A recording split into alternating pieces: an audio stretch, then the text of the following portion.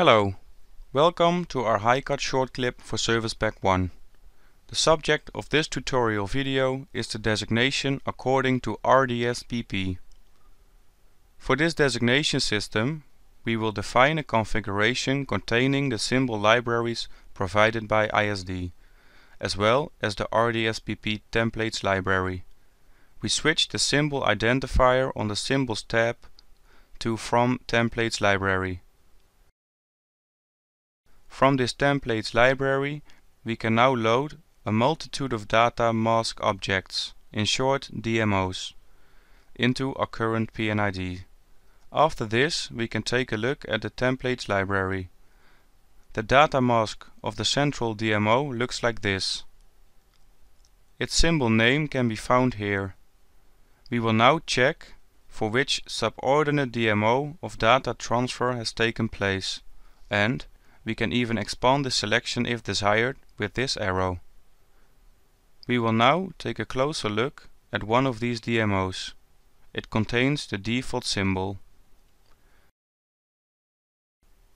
The same procedure applies to this library for attributes. Via the determine derived DMOs function we can see to which subordinate symbols of the database reference a data transfer has taken place. Within the derived DMOs we can recognize, besides many other attributes for the DMO, the linked database part symbol mask. Now we will apply these principles to the current P&ID. For instance, we have the option to enter the point of installation for the plant in the title block. As an example, we will edit one general symbol here, with exactly this dialog type.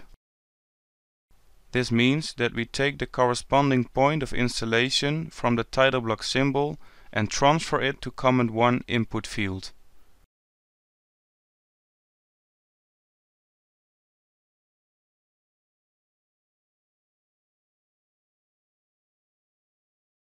After completion of editing and the subsequent insertion of a vessel symbol, this information will now be transferred in addition to the designation system CM002.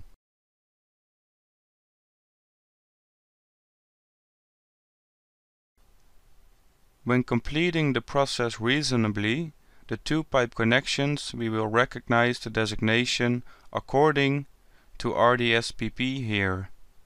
This very elaborate designation also allows a translation into different languages.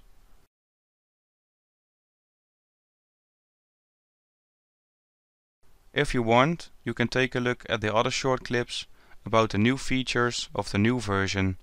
Thanks for your attention, I hope to see you again next time.